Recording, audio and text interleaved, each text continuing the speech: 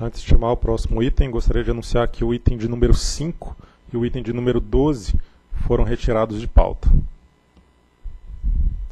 Item de número 19, processo número 48500-00-1325 de 2015.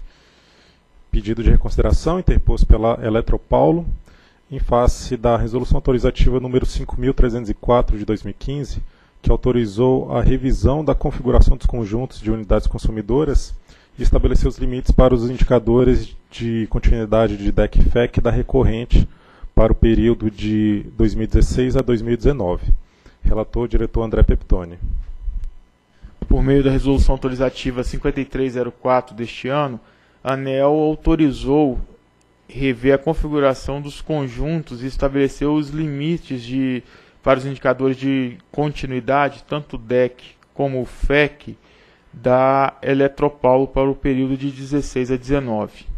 E por meio de carta de 15 de julho, a AES Eletropaulo interpôs pedido de reconsideração contra a resolução 5304, no qual a distribuidora solicitou alterar os limites de DEC de 10 conjuntos e do FEC de 2 conjuntos, em razão do plano de resultados e análise na ANEL, o qual exige que nenhum conjunto da concessionária pode apurar indicadores acima do maior limite entre todos os conjuntos da concessão, de 19 horas e de 12 interrupções, respectivamente. A Eletropaulo solicitou que esses conjuntos tivessem esses limites em 16 e 17, o que implicaria elevar os limites definidos na Resolução 5304. Mediante a nota técnica de número 70, a SRD analisou o assunto e recomendou o indeferimento do pedido da Eletropaulo ao relatório. Procuradoria. Procuradoria opina pela presunção de juridicidade da decisão ser proferida pela diretoria. A Eletropaulo argumentou que a importância do plano e a gravidade de eventual descumprimento pela distribuidora justificaria alterar as metas impostas pelo ANEL para a parcela mínima de conjuntos, 10 conjuntos no DEC e 2 no FEC, que não representaria quantidade significativa se comparados com o total de conjuntos distribuidoras, que representa 136.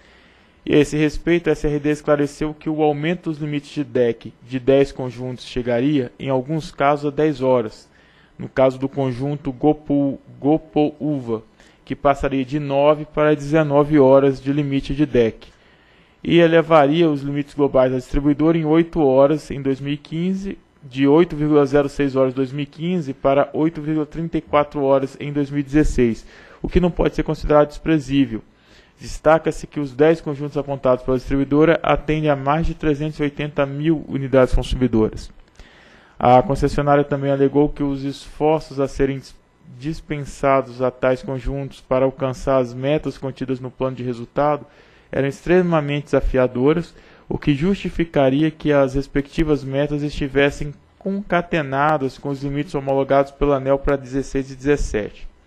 Sobre esse argumento, entende-se que elevar o limite conjunto mais afetado pode incentivar a piora do atendimento nesses locais.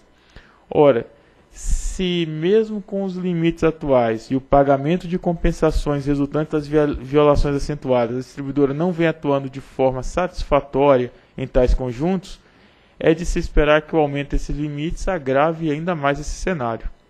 A distribuidora justificou que a uniformidade de metas evitaria que os investimentos para o atendimento ao plano de resultados fossem indevidamente caracterizados como insuficientes e, sobretudo, facilitariam o entendimento da sociedade quanto aos níveis de qualidade da prestação de serviço almejado por essa agência.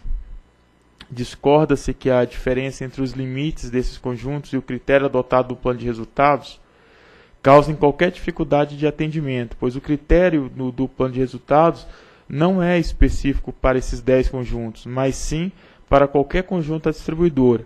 E caso o entendimento da Eletropaulo fosse adotado, todos os conjuntos da empresa deveriam ter os limites alterados para as 19 horas e 12 interrupções, o que não é razoável.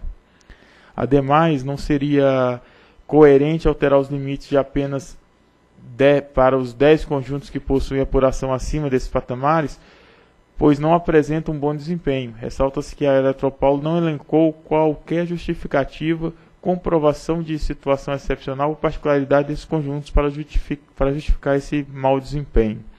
A Eletropaulo sustentou que a flexibilização solicitada possibilitaria maturar os investimentos realizados no plano de resultados para que os efeitos desses fossem percebidos na rede elétrica e no aprimoramento da, da prestação de serviços dos demais anos. A distribuidora teria mais chances de corrigir a rota, pois minimizaria a violação dos indicadores de continuidade e, consequentemente, reduziria a drenagem de recursos com pagamento de compensação aos consumidores. Esse argumento não deve ser acolhido. A distribuidora deve adequar a gestão e, eventualmente, realizar investimentos para corrigir os problemas de qualidade desses conjuntos.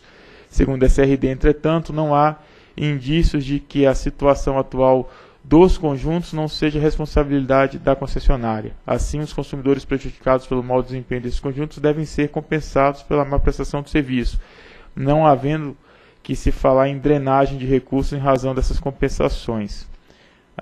O consumidor na tarifa paga por uma qualidade, é, se presume uma qualidade do serviço. Então, a drenagem é da qualidade do serviço prestado ao consumidor, que o consumidor da Avenida Paulista paga o mesmo valor da tarifa de energia de um consumidor de uma área mais afastada. Então, os conjuntos têm a, a tolerância. Né? Esse argumento, nesse cenário, não se mostra razoável. E a Eletropaulo sustentou ainda que a, a, correção de rota também deveria ser considerada pela ANEL para avaliar a metodologia de definição dos limites dos indicadores de continuidade. Segundo a empresa, a tecnologia não seria capaz de fixar com precisão os limites dos indicadores de continuidade. As especificidades apresentadas pela Eletropaulo nas revisões tarifárias foram sempre julgadas como insuficientes para ajustar os limites dos conjuntos. E não é esse também o entendimento da área técnica da ANEL. A ANEL vem aprimorando constantemente a metodologia dos limites TEC-FEC, sempre após ampla discussão com a sociedade. A metodologia é constante e a ANEL tem plena segurança quanto à adequação dos limites. Com relação ao não acatamento dos pleitos da Eletropaulo, ressalta-se que a agência trata de forma isonômica e transparente todos os agentes e eventuais não acatamento dos pleitos da concessionária foram tecnicamente fundamentados. A distribuidora sustentou que, na definição dos custos operacionais, limita-se a trajetória de 5% para mais ou para menos ao ano para o ajuste dos novos patamares de custos conhecidos na tarifa. E segundo a Eletropaulo, a goza nos custos operacionais reconhecidos pela ANEL no ciclo tarifário não é congruente com a demanda de qualidade de serviço requerido para o quarto ciclo, devendo os limites DEC e FEC ser compatibilizados com os recursos definidos na tarifa. E a esse respeito, entende-se que a ANEL adota a regulamentação por incentivos e que tanto a definição dos limites de continuidade quanto a dos custos operacionais são realizados com base em comparação entre as distribuidoras. Assim, não há como argumentar que os recursos são insuficientes ou que os limites são inatingíveis, uma vez que há outras distribuidoras com características semelhantes que conseguem atingir os indicadores de continuidade com a mesma regra para a definição dos custos operacionais. Ressalta-se que, ao contrário do alegado pela distribuidora, a aplicação do limitador da trajetória dos custos operacionais não visa apenas proteger as distribuidoras das reduções abruptas dos custos reconhecidos, mas também proteger os consumidores no caso de aumentos significativos. E tal mecanismo foi objeto de intensa discussão na confecção da nova metodologia de definição dos custos operacionais, cujo resultado esperado é justamente o equilíbrio entre distribuidores e consumidores. E o gráfico 1 apresenta os indicadores globais de DECFEC apurados e os limites para o agrupamento dos 10 conjuntos apontados no pedido de reconsideração. Também são mostrados os valores expurgados dos indicadores DECFEC, visando representar a percepção dos, dos consumidores quanto às interrupções. Então, tem aqui os gráficos. E observa desses gráficos, depende-se deles que a degradação acentuada dos indicadores nos 10 conjuntos, especialmente quando considerados os indicadores totais, os quais são de fato percebidos pelos consumidores. Causa preocupação a intensa elevação dos expurgos em 2014, resultando no DEC total de 60 horas. E também se observa que o DEC vem aumentando de forma mais acentuada que o FEC nesses conjuntos, o que resulta em aumento da duração média de interrupção o que tende a gerar mais insatisfação dos consumidores. E o gráfico 3 apresenta a duração média de interrupção nos 10 conjuntos, ao qual chegou em 2014 a 3 horas 3,45 horas. E o aumento da duração média da, das interrupções pode indicar ineficiência na aplicação de recursos de operação e manutenção pela concessionária. E a análise dos indicadores de tempo de atendimento às, às ocorrências emergenciais verificados nos 10 conjuntos indica, então, ineficiência na aplicação dos recursos de OIM. E os tempos de atendimento estão regulados no módulo 8 do PRODISH. E no módulo 8 a gente tem a, a regulação. E eu estou no parágrafo 27, eu digo que o, o gráfico 4 mostra a evolução dos indicadores de tempo de atendimento de 10 conjuntos da Eletropaulo desde 2011. Observa-se que o tempo médio de preparação possui exatamente a forma do gráfico 3 de duração média, o que revela que a ineficiência na alocação de recursos de operação e manutenção acarreta a elevação da duração média. Observa-se os indicadores TMD e TME não apresentam alteração tão significativa. E segundo a SRD, a elevação então do TMP tem sido observada em diversas distribuidoras e esse também é o caso da Eletropaulo e o gráfico 5 retrata isso. Portanto, os argumentos da Eletropaulo para alterar os limites atribuídos para os 10 conjuntos citados no pedido de consideração não devem prosperar. E a partir de tal análise das considerações apresentadas no processo 48.500.00.1325.2015, dígito 90, voto por conhecer do pedido de reconsideração da resolução 5304 e no mérito negar-lhe provimento ao voto. Em discussão. Em votação. Eu voto com o relator. Também voto com o relator. Também voto com o relator. Proclamo então que a diretoria decidiu, por conhecer do recurso eleitoral, no método negar-lhe provimento. Próximo item.